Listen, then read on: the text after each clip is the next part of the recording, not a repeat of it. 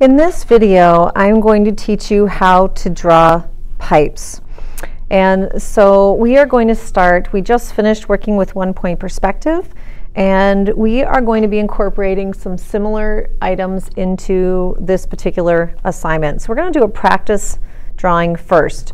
Um, as you go, you might want to stop and pa or pause the video so that you can get caught up. I'm going to move fairly quickly. Um, so pause as you go if you need to. We're going to be talking about several things. Um, we're going to be talking about parallel lines. We're going to be talking about positive and negative space. We're going to be talking about connectors. We're going to be talking about contour line. Um, we're going to be talking about overlapping and how do we show something that's close to us versus far away and then we're also going to be um, just kind of learning how to make different attachments and how to take straight lines and make them more curved. So here's a little example of kind of what we're going to be doing. Now this is obviously, this is the handout that I have for you and you can see there's um, a lot of different ways you can do your piping. Um, but we're going to make three pipes and we're going to start off with um, a pipe that just has a like a 90 degree angle, okay? 90 degree angle pipe. So one thing you need to understand is that we're going to start with the pipes that are closest to us. So I'm going to start with a very um, a large pipe. I want to make sure my pipe is nice and wide. So my first pipe that I draw is going to be closest to me. So I want to make a nice wide pipe and I want to try and keep my the width of my pipe wide all the way through. So I want the same consistency all the way through. So these are parallel lines. And then this is going to eventually turn a corner, so it's a 90 degree angle. So I'm going to do a line coming down this direction, and then the width I have here, I want to keep consistent on the other side. So I'm going to try and draw kind of that same width. Now, obviously, pipes do not have this straight edge. So we need to kind of curve that a little bit. So I'm going to go ahead and I'm going to curve that line there. And then I'm going to come up here and I'm going to curve this line here so that the pipe is turning. And then I'm going to erase these lines. Now, when you have pipes, if you were to look underneath your, whoops, I'm erasing the wrong ones. When you look underneath your sink or whatever, you're going to notice that if you were to go to Menards or Home Depot or whatever store Lowe's you have around you, you're going to notice that there's different types of piping. There is straight piping, which is fine, but you have all these different connectors. So basically our work, we're dealing with straight pipes and anytime we are moving away from a straight pipe and we're going to connectors here, then we need to put, um, we need to make connectors. Now I'm going to show you how to make a connector. When we do the connector, and I'm looking at this, and this is looking just a little bit thick to me as I'm going through, so I'm just going to go back and just kind of see if I can't make that. I don't know why, it's just not looking quite right to me. And again, doesn't have to be perfect. This is just a sketch. But if I see something that I don't like, I tend to want to tweak it until I get something that looks better. All right, so I'm going to make a, um, a connector. The connector is what kind of connects those pipes together. So when I create my connector, I want to make sure my connector is going in the same direction. If I did a connector that is straight up and down, my pipe is going to look very flat. It does that does not help my pipe look round at all. So we are going to be using contour lines. Okay, so that's one of the things that we're talking about here. We're going to be using contour lines, and we're going to come back to that in a minute. So right now, we're going to be working with connectors. So the connectors don't happen at the curve, they happen a little further away. So you need to be part of the, on part of the straight edge for a connector to happen. And the connector needs to go in the exact same direction. So it doesn't really matter what direction you decide to go. So if I were to do a curve going this direction, I would need to make sure that curve stays in the same direction. Um, so if I were going in this direction, I would want to make sure the curve goes in this direction. So I'm actually going to do a curve. I'm going to do a curve in this direction okay, right like that. And if I were to follow that curve going around, my curve would not go this way because that would be the opposite. I would make this curve go the same direction. So this is showing the contour of the pipe. So you can see how now it's looking like the pipe is round. Now there's two different types of connectors you can create. There's kind of a bubble connector or a rounded connector, and then there's, there's a flat one. So to make that connector, I'm going to not start at the end of this line, but I'm going to move over just a little bit. So I'm leaving a little bit of space. And then I'm going to come up, and if I'm doing a rounded one, I'm going to come down, and I want to make sure that this is, again, we're talking parallel lines. We're keeping equal distant all the way around. Okay, so we want some consistency there, and this is going to come back and end. Again, I'm leaving a little bit of space there. Okay, this is going to be there, this is going to be there. However, this line would get erased. So do you see how now I have around it looks like it's wrapping around the pipe? So this is a rounded connector. If you want one that looks flat, you can do it this way. Again, I'm starting further out. I'm going to come up and around, only this time I have kind of keeping parallel lines with my pipe. I'm making it flat, and then I'm going to come back around. And again, equal distant, if it goes off the paper, that's what it has to do, but you want consistency. So this is going to come down, it's going to come past the pipeline, and then I'm going to have, again, that horizontal line, keeping with the pipe, and then I will be erasing this. The, it does not matter which, whether you do a rounded connector or a flat connector. However, if you're on this particular pipe, if you choose to do a round, then you should stick with a round over here. Or if you're doing a flat, you want to make sure all your connectors are flat. Okay? So now the next thing I'm going to show you is how to create a, um, a water valve. So I think I am going to, um, I want to do another pipe. And I want that pipe to go behind this one. Because this pipe is closer to me, it's wider. So my next pipe that I put behind it, that so this one looks like it's overlapping, is going to be thinner. I'm going to make it a little bit thinner. So I think I'm going to move this, turn this this way, and I'm going to go ahead and I'm going to make a pipe coming down over here, and you'll notice that I've made it thinner. Now, part of the problem with that some students have is they do something like this. What's wrong with that? If you're saying these lines don't match up, and I know I've made this pretty dramatic, but if these lines don't, lines don't match up, then you're right. So what I usually tell students is that when they're drawing their lines for their pipes and they have to cross another pipe, I suggest that you start here and then you come up and you continue. So start, lift up, pretend like you're continuing to draw, and then put your pencil back down. Now I'm doing um, a pipe that is going to, I'm going to do a T pipe here. So I'm actually going to show you a T pipe. So I'm going to come across like this, and I'm going to come across like this. Oops. Here we go. And again, I want to make sure that my, um, I'm just wondering if I left enough room up here. I don't know if I left enough room for to show you. Uh, okay, you know what? We're going to change our mind. We're going to make this a Y pipe because I didn't leave enough room to show you the um, to get the handle, the water valve on there. So I'm going to back up a little bit and we're going to change things around a little bit. Now you don't have to be putting your pipes in the same spot I have. You get to decide where your pipes are going to be on your paper. Um, okay, so let's back up. Let's show you, instead of showing you a T pipe, or a water valve, and I'll do a water valve somewhere over here. Um, I'm going to do a Y pipe. So when you do a Y pipe, you want to make sure that your diagonal that you have when you're going off for the Y is the same. Um, and it should definitely look like a Y. So if I come up and I do something like this, okay, I don't want to be doing a straight up or I don't want to be coming out here because it's not going to look right. I need to make sure that the angle that I draw on this side matches the angle I draw on this side. So I'm just going to try and get that as best as I can so that we have a matching angle.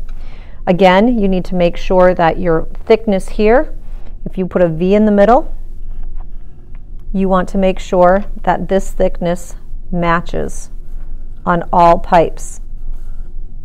So you have that thickness running through the whole thing.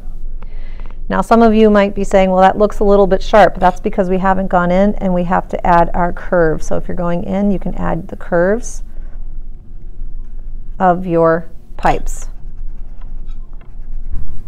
to make this look a little bit more natural. And then you need to add your connectors. Now the connector might be behind here, so I might need, not need to show this one, and maybe the connector is over here. And again, it might end up coming on and off the paper. So you want to go in and add your connectors.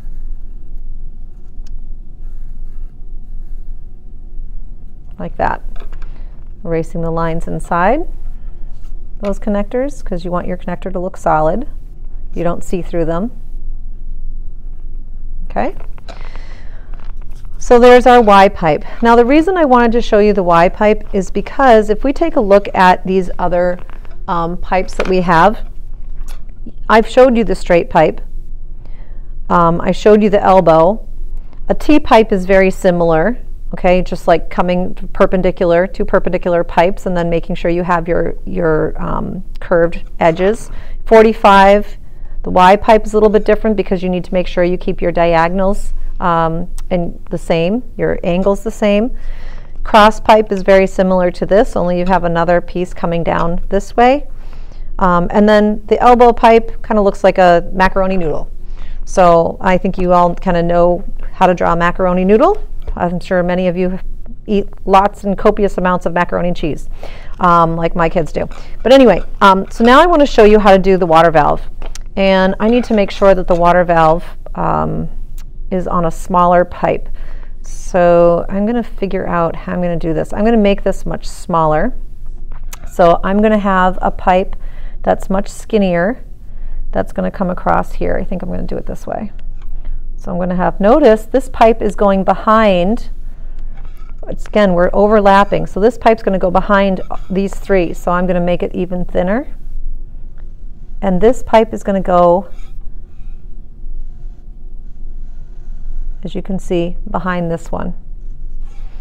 And I'm going to make my water valve here. Now, because this is so much smaller, I'm going to go ahead and I'm going to zoom in so that you can kind of see what I'm doing. So the next step that I need to do is I need to add the, part, the water pipe that comes up, like the little valve part. So this is going to come up here. And I, again, I want to make I want this to be consistent. I'm going to bring these lines just slightly south, just below the pipeline. And I'm going to make a curved line at the bottom. So basically what I'm making is a cylinder. Okay, I'm going to erase this line inside. And I'm going to do a foreshortened circle. And a foreshortened circle basically means you're doing the same thing as an oval. Going to make an oval right there. Okay.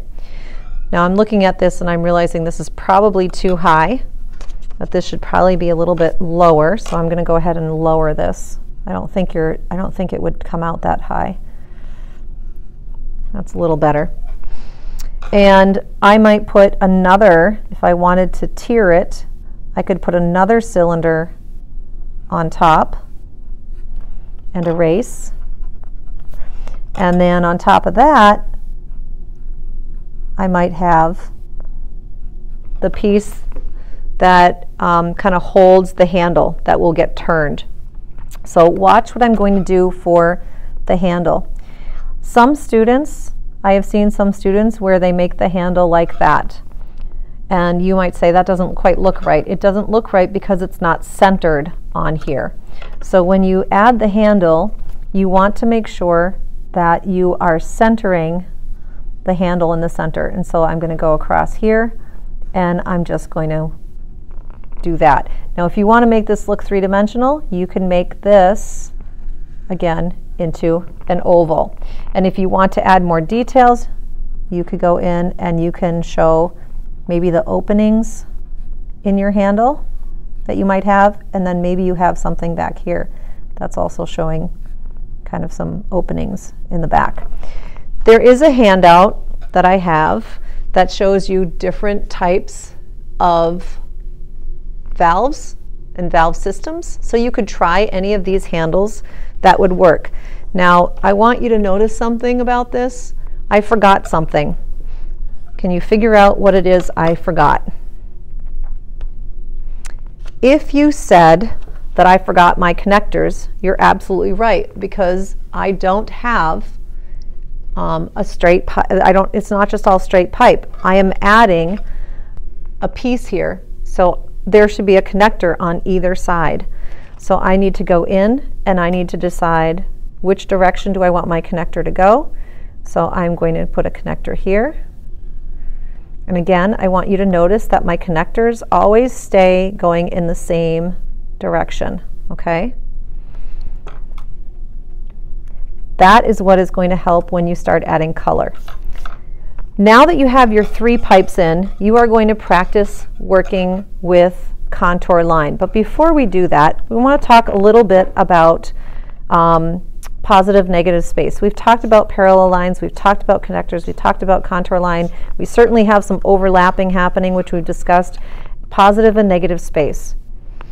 Positive space is the eraser. Positive space is my paper clip. Positive space is my pencil. So anything that takes up space is considered positive space, which means negative space is kind of like the air. So you'll notice we have created some really interesting positive and interesting negative spaces in through here. Um, one of the things I am going to want you to do is I'm going to want you to try and get your pipes to go off all four sides of the paper. And you'll notice I did not do that here. I only went off three sides. So if I were to meet the criteria of the lesson, I would need to add another pipe somehow in through here that is going off. And it could be one of the, it could be maybe that macaroni pipe um, that just kind of looks like it's kind of coming in and turning. Just as long as you have a pipe that's kind of going off all four sides of the paper. And that's probably not the best. Well, actually, that's not too bad. So something like that. Um, so when we add contour line, take a look at the contour of this connector. We are going to keep that contour line all the way across. So if I am adding color, and I'm just going to use some highlighters here to help show color. If I'm adding color, I can add color, thin color. I can add thick color. We're also going to be talking about color choices. So we're going to be talking about warm colors versus cool colors, complementary colors versus analogous colors.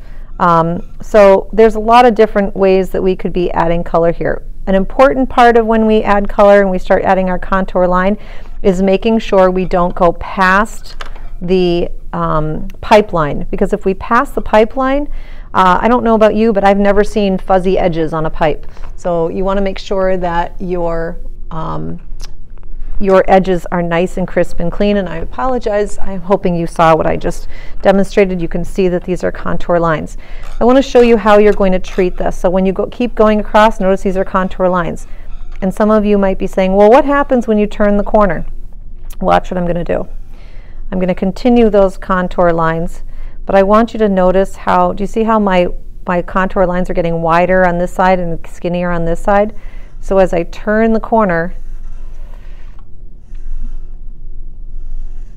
and I'm just keeping with the contour line. And do you see how this contour line is now matching up with this connector?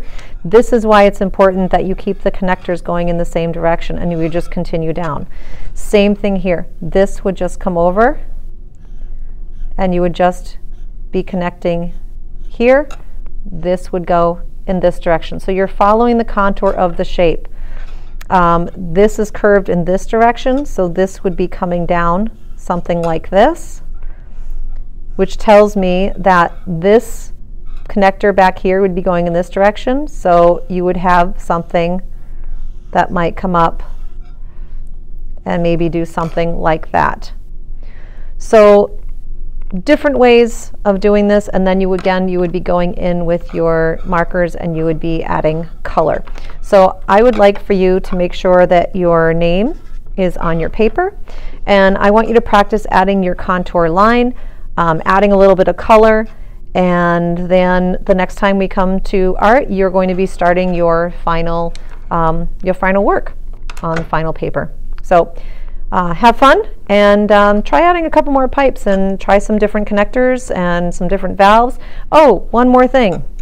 Uh, if you want to make it look like there's like a little crack and you have a leak, uh, you certainly can. So you have water dripping, um, but be careful, make sure you truly know what direction you want your paper to be in because I've had students who have um, put their water in and then they hand their work into me and they say they want it matted and want it shown this way. Well, this is going against gravity, so then the, the drips would have to be coming down in this direction. So before you start adding any cracks or any water spraying or anything like that, make sure you really know what direction you want your piece to be viewed at um, as the artist. All right, so have fun.